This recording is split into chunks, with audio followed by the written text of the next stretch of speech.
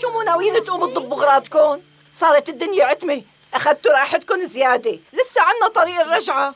ما فيكي ما تنقي سنية خانم كأنه ما في غيرنا هون. يا بنتي سنية خانم ما غلطت.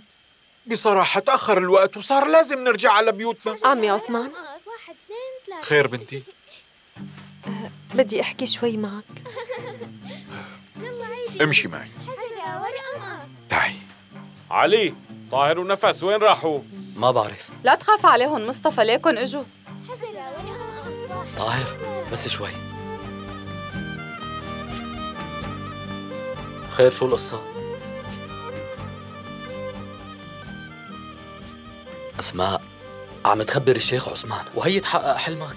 أول ما توصل على الضيعة بتروح وبتلبس طقم مرتب وحلو.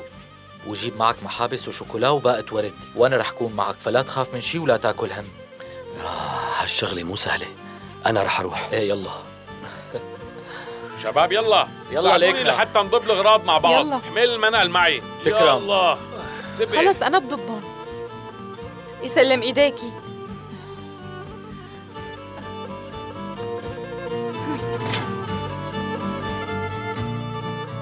ما كان لازم ألعب طابة والله تعبت كتير. هالمرة ما عذبني أبدا.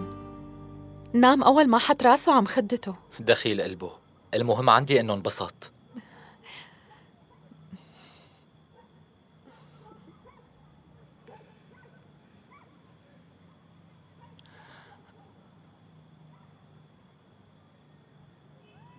يلا يا زلمة وينك أنت؟ يلا دقيقة رح أوصل. يلا استعجل كلياتنا قاعدين وناطرينك.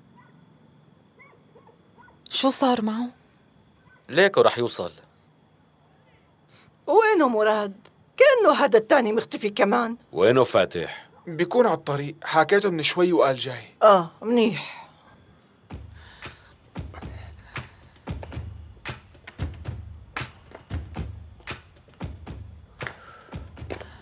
أستغفر الله وأتوب إليه. مرحبا السلام عليكم. وعليكم, وعليكم السلام. السلام أهلا أهلين وسهلا. بالعريس. تعال فوت لجوا فوت. شكرا علي سلمون. شوفي ليش هذا لابس أواعي جديدة وجايب معه باقة ورد وجاي هلا؟ حماتي طولي بالك كرمال الله. أسماء بنتي خذي الغراض من إيد علي الله يرضى عليكي. الورد. آه. إيوه. إيه هيك القصة؟ فهمتيها؟ منيح برافو بكفي هيك. يلا عود. الكل انتبهوا عليك إنك متلبك عفوا آسية. وأنتي كمان أسماء. يلا قعدوا تفضلوا. وأنا قايمة. اشتركوا إيه. بالقناة لمشاهدة جميع الحلقات. ولا تنسوا تفعيل زر الجرس.